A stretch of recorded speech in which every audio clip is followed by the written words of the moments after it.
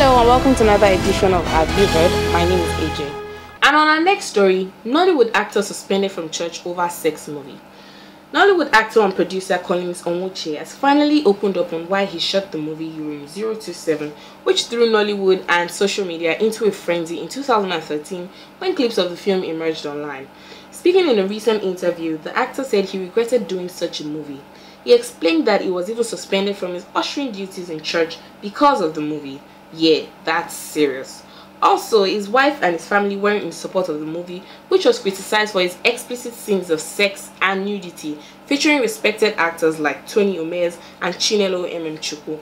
According to him, the movie has brought him more misery than otherwise, and he would never shoot such a movie again. Apparently, this actor has learnt his lesson, although the hard way.